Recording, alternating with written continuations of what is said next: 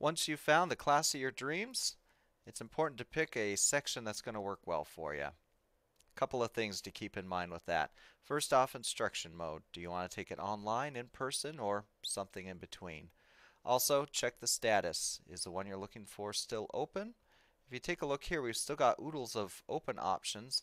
The ones that are full, looks like you could still get on the wait list, which isn't a bad choice. Uh, looks like this one uh, still has about nine seats available for the wait list. Also, you could see who the instructor is, uh, dates, and some other details here. Speaking of those other details, before you ever enroll in a class, always click on the section. Let's make sure that everything about this section is, is going to work for you. Uh, we've already talked a little bit about the instruction mode. Down here it's going to give you more information. Don't panic when you see the TBA for the online. There's no particular time that they're going to ask you to, to join in. Something else though that you want to watch out for over here on the left is under the information, look at the course description. Is this truly the class of your dreams? Also prerequisites. Is there something you need to take before you can take the class of your dreams? And also down here, sometimes you're going to see some additional information about that class that you're going to, really going to want to know before you enroll in it. This one looks good to me, but it also looks like I've got some other sections that are still open. So let's try out this one here. I can click on it, verify everything still checks out, and if it looks good, I can hit enroll.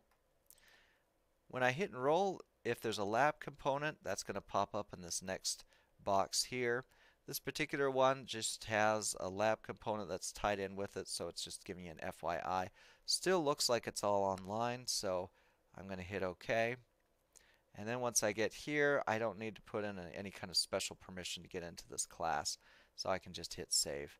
Now I'm going to get an error message because I've already enrolled in this class. And you might get an error message too. Maybe not because you already enrolled in it, but maybe you haven't met the prerequisite yet, or you have a hold on your account. You're going to see that uh, information down here in this, this message. Uh, but for you, if you got the green box and it said you're enrolled, then you're good to go. You can hit OK and continue on your search to find some other great classes. Hope this helps. Just another little quick FYI.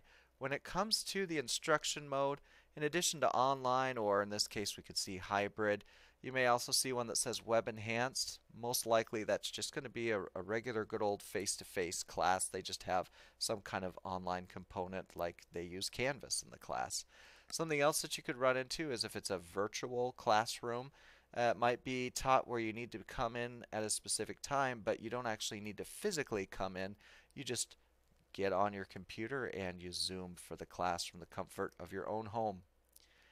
There's plenty of other things we could chat about, but that hits on most of the important ones. If you've got other questions, talk to your advisor or get in touch with One Stop.